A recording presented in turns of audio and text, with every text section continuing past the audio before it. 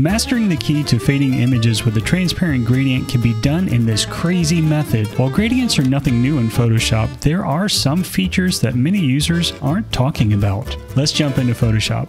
Gradients are typically from one solid color to another, but they can be used to change the background and even bring lighting effects into your project. Let me explain. On this image, I'm going to apply a layer mask, then the gradient tool, setting it from foreground to transparent, and black as my foreground.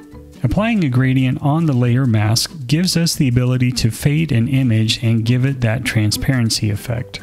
Using this photo, I will go ahead and select the subject and then click and drag to duplicate my layer. I'll add a layer mask and then select my gradient tool, making sure that I am still set to foreground to transparent underneath the basics folder. I'll click and drag a gradient onto my project and then double click on the thumbnail of the gradient layer.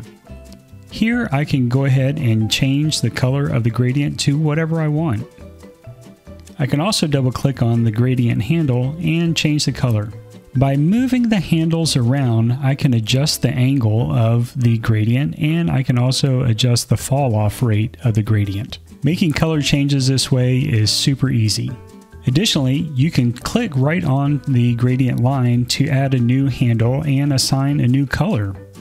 Grabbing the handle, you can adjust the distance between one color and the other color that's in the gradient. To remove this color, I can just simply click and drag it off of the line. If I double click on my layer gradient, I can actually change the style of the gradient, going from a linear to a radial gradient. All of these options give us the ability to move our gradient around on our project and give us that lighting effect that we want. Putting this together, I can add a radial gradient to my layer mask. I can adjust the shape and also grab the side handle to make my shape more of an ellipse. You can also fine tune your gradient controls up here with these sliders.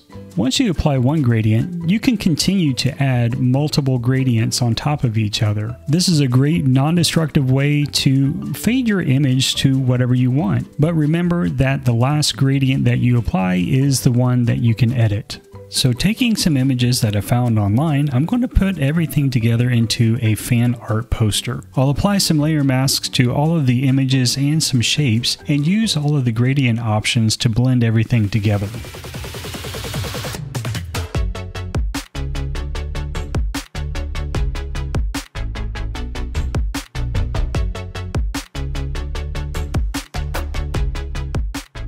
I have a texture overlay applied to this image.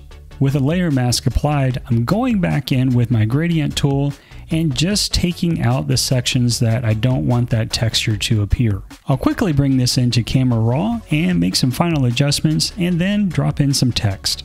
If you noticed in the making of this tutorial video, I used some lower resolution images that I found online. If you struggle using low res images, then I would consider watching this video right here where I show you how to upscale your images for free. Be sure to like and subscribe, and I'll see you in the next video.